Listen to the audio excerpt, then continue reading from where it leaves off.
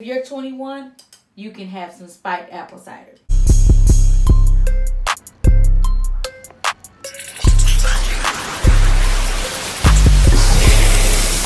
Hi, my name is Candace, aka Picasso Baby, and today I'm going to be showing you how you can create your own Halloween paintings right at home. Before we get started, make sure you like, comment, and subscribe so that you don't miss the next video. And if you have any suggestions on something that you want to paint at home, please leave it in the comments so that we can do some painting through this pandemic together. Um, also, I would like to thank everybody that has subscribed and that have been painting with me. I appreciate all of the love and support, and I'm so excited to do more painting with you all. So today, I'm going to be showing you how to create your own Halloween painting right at home. Um, Halloween looks just a little bit different this year due to the pandemic. So if you're going to be celebrating at home um, with yourself, with your loved ones, with your kids, this will work perfectly for you. So a few things that you're going to need a canvas. You can use any size canvas. I use a 16 by 20 you're gonna have want to have a few different types of brushes. I do use acrylic brushes just some assorted size brushes. A water cup with cool water napkins to dry your brushes off on you're also going to want a um, some paint in a, plate, a paint plate. I use acrylic paint. Um, you can use whatever kind you like. And I also am going to be using the colors white, yellow, red, and black. And because it is fall and Halloween, I have my favorite painting sweater. And then I also have some apple cider. But if you're 21, you can have some spiked apple cider. So we're going to go ahead and get started. And I'm just going to simply start by laying out my background. So what I'm going to be doing, I'm going to be using my biggest brush. And I'm going to actually take a little bit of yellow. And I'm going to create a bit of a wave here. Because everything above this line is going to be my sky. And everything below is going to be my grass. And then I want to create almost like um, a really spooky sunset. So I'm going to draw a really big half circle here. And I'm going to keep this little bit of yellow on my brush. But I'm going to also add white to my brush. Because I want this to be the lightest part of my painting. So I want to make sure that this is a really nice white, um, light yellow. And I'm just kind of blending the paint out by smoothing my brush back and forth across until I get this section filled in. And whenever you're bl blending colors and you want them to mix really well, you want to kind of move at a bit of a quicker pace only because with acrylic paint, it does dry kind of quick. Um, so you want to make sure that you're blending the colors together before it has a chance to dry. Now, what I'm going to start to do around this sun, around this um, sun going down, I am going to start to pick up a little bit of yellow, but I'm going to also add some red to my brush. Now, I haven't washed it, so I'm allowing all of these colors to kind of blend around each other. And I'm just going to go right around my sun here. And as you can see, it is blending out to an orange. And that's exactly what we want. Again, we are going for more of a spooky sunset. So we want it to go to an orange. And I'm going to continue to pick up yellow and red. And as I'm moving out, I want it to start to get a bit darker. So as you start to move out towards the edges, you want it to get darker. So add more red to your brush. And still Make sure you're blending it out and allowing all of those colors to really mix into each other.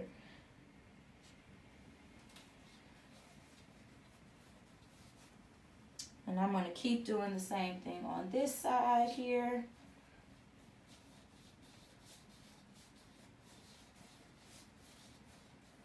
But one thing I am going to do, I'm going to leave a little bit of space in each of my corners because I want those to be my darkest areas. So I'm going to leave a little bit of space there.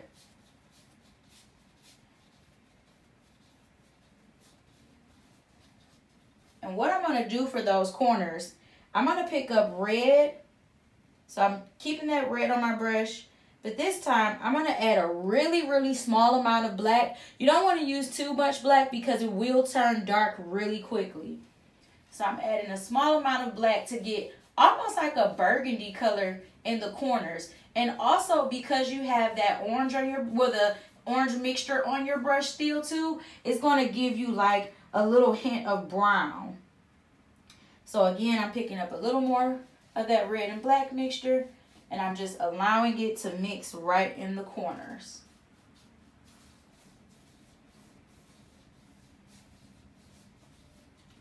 And once you have that in there, um, we are going to go back and add a little more colors, a little more layers, but we want this first layer to dry first. So while we're while that's drying, I'm just going to dip right into my black. I still didn't wash my brush off.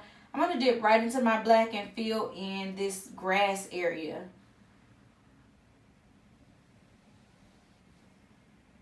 And I'm going right over that yellow line that we started with. And then I'm just getting this completely filled in. Just completely filled. And if you have other colors on your brush still, they will blend out into the black. So don't you don't have to worry about washing your brush. Just let those colors kind of blend into that black. Just make sure you're smoothing it out very evenly.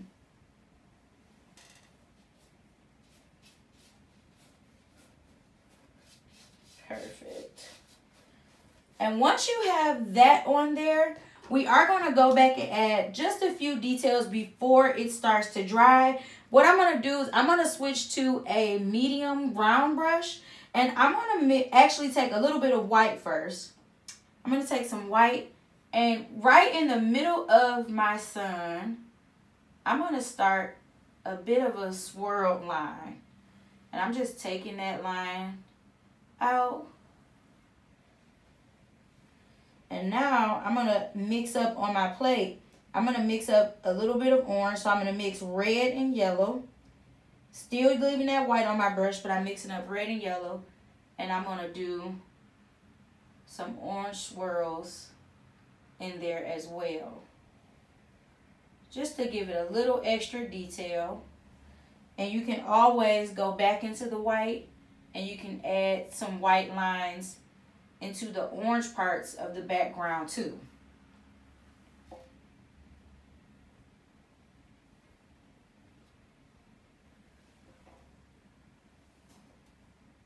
So again, I'm kind of following the curve of the sun and I'm adding in just like almost like little white highlights into the background. I added a white swirl into the actual sun and orange swirls as, as well. Um, and once you've done that, once your background is completely covered, before we can add anything else, we do want to let this dry. So we're just going to take a quick drying break. Um, you just want to let it dry for anywhere from 10 to 15 minutes so that it's completely dry. Or if you're impatient, you can always grab a blow dryer and then we'll start on the, the next details in just a few minutes. Few moments later, one eternity later, three days later, 12 seconds later, 3.28 a.m., 8.01 p.m. The next day. All right, so our background should be pretty dry. Um, you just want to, you can either touch it to see if it's dry or as long as it's no longer shiny, then you know it's dry. So we're going to go ahead and start to add in some details. So again, we're doing a Halloween painting. So I want to add in a nice little spooky tree, some pumpkins, and maybe even like a black cat and some bats since we are sticking to the like silhouette look because we have this really nice spooky sunset. So you can either continue using, go back to the medium round brush or you can use a bit of a smaller round brush. You just want to make sure it's round because we are going to be drawing in some details. And I'm going to use black. So the first thing I want to decide is where I'm going to be putting my tree um, because I want to kind of base everything else off of the tree. And I think I want my tree to be right here on the edge. So the first thing I'm going to do is I'm just going to draw a simple line just to show me where my tree is going. And from that line, I'm going to create the tree trunk. So I'm going to start back at the top And I'm going to start to move out at an angle just a bit. You see how it's spaced there?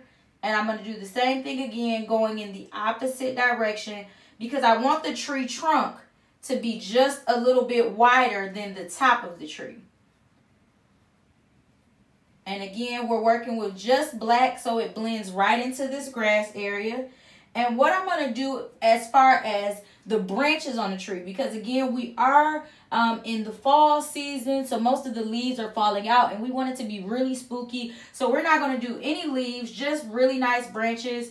I'm going to take from just from the top here, I'm going to take my longest branch and kind of curve it over my sunset. And if you lose paint, you can always go back in and fill it in.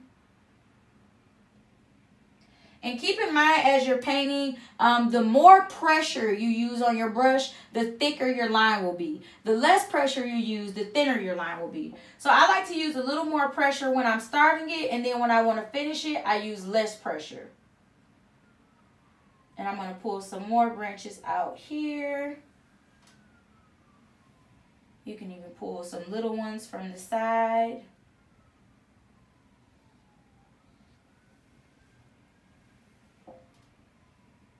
And even the branches that I'm pulling out, I'm pulling out little branches from those branches as well.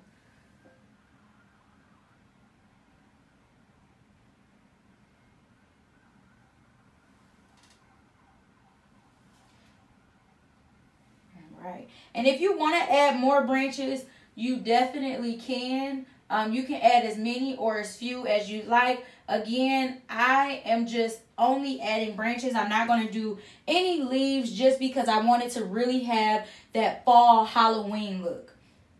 So along with adding in my tree, again, I'm going to also add in some pumpkins. Um, now, I do want them to have, uh, if you want to, I want them to have the jack-o'-lantern look, but if you just want to do full silhouetted pumpkins, what you're going to do is you're going to just make a circle.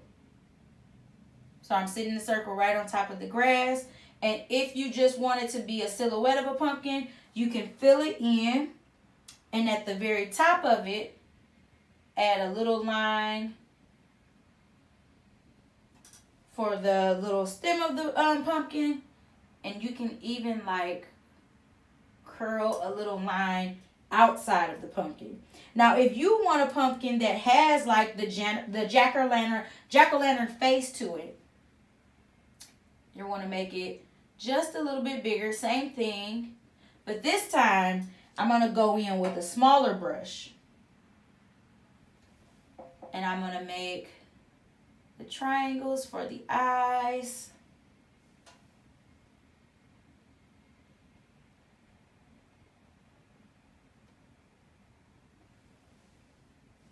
And then I'm going to do the mouth.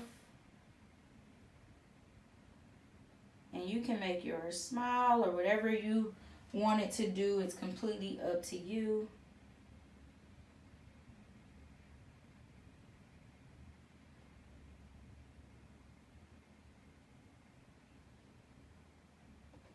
Now, for this one, you don't want to fill it in completely what we're going to do is actually fill in everything around our drawing.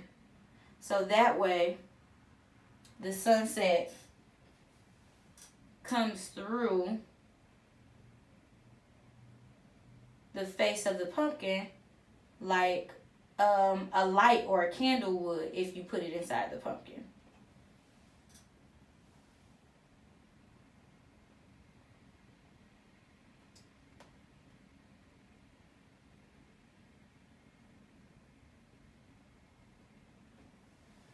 I'm just filling that in. And I'm gonna, same thing, I'm gonna add the little stem at the top. And I am going to add a little vine, a little curl there. And I'm gonna add one more smaller pumpkin right next to this bigger one. This time I'm just going to fill it in. So I just did a circle, fill it in, add a line for the stem, and then a little curl there. Now, if you want to do a cat, um, a cat is very simple as well. It's just circles and triangles. What I'm going to do for the cat, I'm going to actually make the cat a little closer to the tree.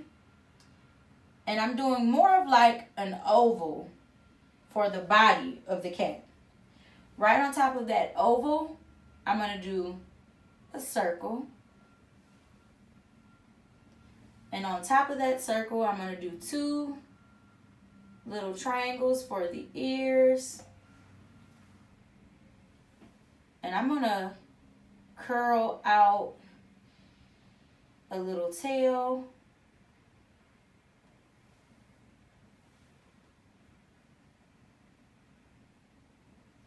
And now I'm just going to go through and fill it in. And you have a really cute little cat. You can even go in and add some bats. And if you want to add bats, what you're going to do is almost like you're going to make an M. And you can add the bats anywhere in the background that you want to see it. So I'm going to make a little M. And underneath that M, I'm going to do a bit of a zigzag line on each side. And then I'm going to fill it in. So again, I make an M And on each side of the M, I do a little zigzag line. Same thing over here. Fill it in.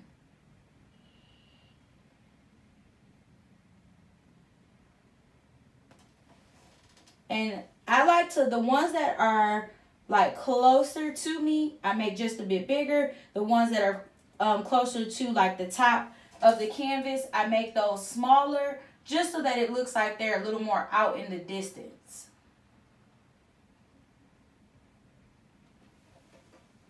And you can do as many or as few of those as you like.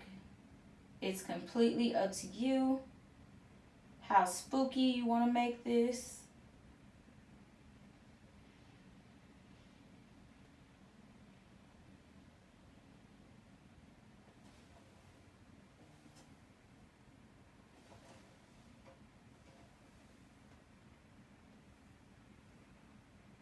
do one more by the tree.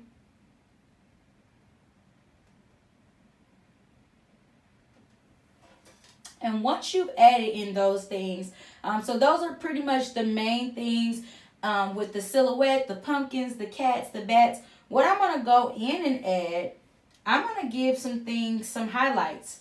Um, and I'm going to do that by still using my smallest brush, adding white paint to it.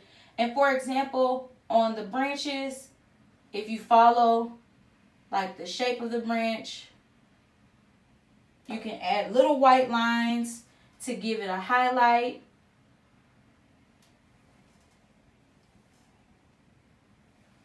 You can do the same thing on the bats. You can add little specks of white to give them a highlight. I'm going to do the same thing on the pumpkins.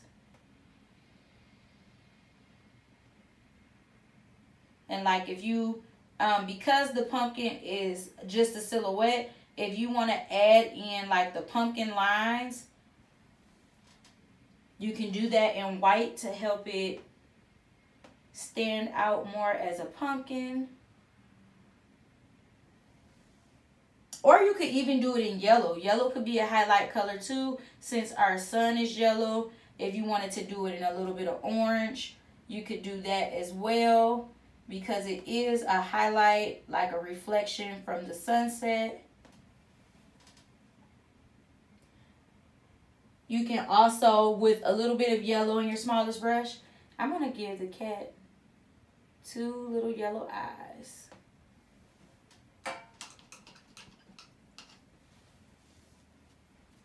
And I'm going to do just a few little lines inside of the grass too.